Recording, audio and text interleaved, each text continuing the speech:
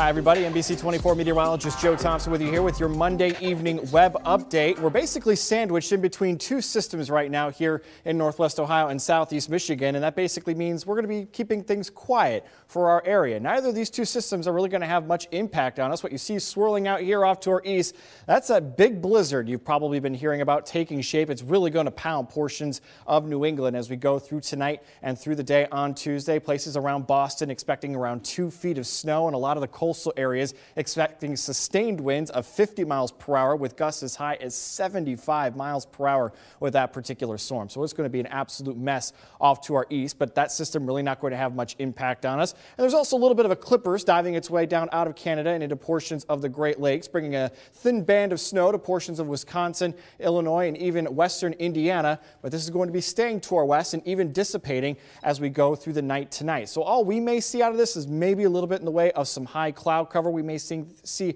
our area cloud back over a little bit as we go through tonight, but we're going to keep the forecast dry for our area. Just going to be staying on the chilly side, much like it was throughout the day on Monday. It is going to be a cold Monday night. So we'll start off the evening partly cloudy, turning mostly cloudy as we go through the overnight, but again, it will be dry.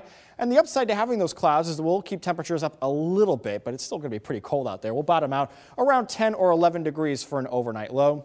Winds, thankfully, will be quite light out of the north. As we go into the day on Tuesday, we're going to keep things pretty chilly. It's actually going to be a near carbon repeat of what we had for Monday. We'll start off a little bit on the cloudy side for the morning, popping out more sunshine for the afternoon.